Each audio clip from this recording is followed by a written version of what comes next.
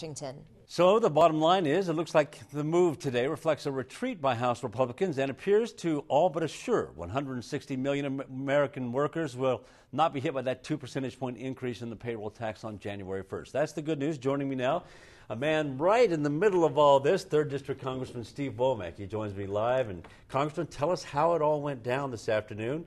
How do you react to what's being portrayed, at least what you just heard in that, that uh, pa- package that went across the, the, United States today? Well, in the last few days, it has become increasingly obvious that uh, uh, Republicans in the House had a very difficult uh, road on this issue. Uh, everybody knows that we favored a 12 month extension, not a two month extension, because we think tax policy uh, cannot be accomplished in just a short period of time but with the bipartisan support that it had in the Senate, you know, 39 Senate Republicans uh, supported the two month extension, and then they broke uh, for the holidays last week.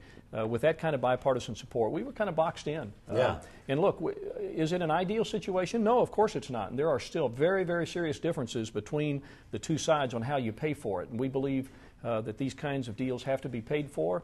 Uh, with trillion dollar deficits and $15 trillion in debt, uh, our country is uh, and what it's doing to Social Security, our country uh, has some very difficult choices ahead. Right. Now, explain to us what happened this afternoon within, within the Republican caucus. Well, uh, Speaker Boehner called a conference call. First of all, they met with the conferees that were appointed, eight people from our side. Uh, Dave Camp, Chairman of Ways and Means, Fred Upton, Chairman of Energy and Commerce, and a number of others, including a couple of freshmen. Uh, they met today, uh, and then I think it was painfully obvious to all of them that uh, uh, we were losing the messaging war on it, and uh, that something had to be done, and that the public support was for the two month extension. And uh, so Speaker Boehner called a conference call this afternoon on which members were able to get on, and he explained that uh, by unanimous consent tomorrow, in a pro forma session of Congress, they will offer the two month extension with the agreement from Senator Reid that they will appoint conferees uh, and that the conferees will begin work uh, almost post haste uh, to start settling the differences between what the two sides believe uh, should happen in, uh, uh, in support of a long term, that is a 12 month through the end of 2012 kind of deal. That was the whole thing we were pushing for was the 12 month. It's, everybody seemed to want that, but yet everybody then preferred the quick two month deal just to get so they could get out of Washington. Well, there were a lot of questions about how you pay for it, right. and, and uh, we had some provisions in our side in our bill that I think are really good.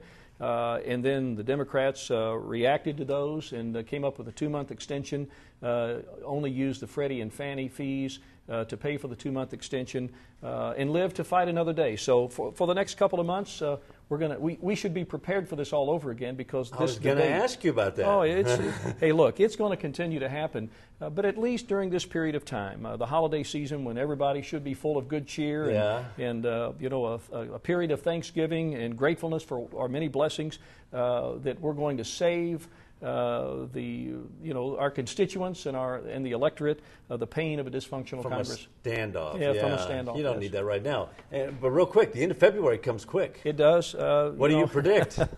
I, I, predict uh, for a while there's going to be some more of this, and uh, but we're going to save you from it for the next couple of weeks. So enjoy it while there's kind of a lull. The waters will be calm. Uh, but when we go back to Washington in January, uh, the rhetoric will pick up again, and, and we'll start talking about uh, how we do these kinds of things, and then what we do to Social Security to protect seniors, and, and how we pay for these issues. And there are a lot of wonderful things in here. So I hope to uh, be involved in that discussion and, we'll that debate. Talk much more about those things that are coming up. Yeah. Third District Congressman. Um, Steve Womack joining us now, and thank you very much. We appreciate it. My pleasure. Merry Christmas, Merry Christmas to you. To you. U.S. Senator John Boozman released the following statement today. The compromise, he says, paves the way for hundreds of Arkansas jobs for the Keystone XL pipeline, offers payroll tax relief to American workers, and ensures that our health care providers continue to care for Medicare patients. And U.S. Congressman Mike Ross of Prescott, 4th District Congressman, who has strongly advocated and voted for the extension of the payroll tax cut for working families, issued the following statement I hope this entire experience has been a teaching moment for those in Congress. It's time that Congress stops the nonsense and starts working together to balance the budget, he says, and create jobs and get our economy back on track.